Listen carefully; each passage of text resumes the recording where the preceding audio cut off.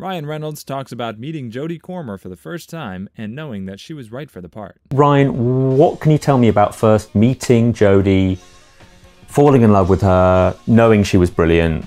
Talk to me about how you first met. This is our love story coming out party.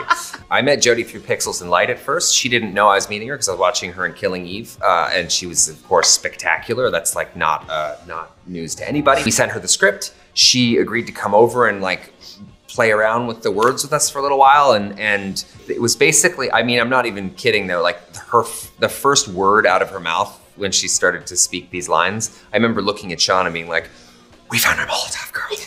We found our Molotov girl. Um, so it was really exciting. I mean when you find somebody like this who you get to play in a sandbox with every day that's an, an immense privilege. So I was really excited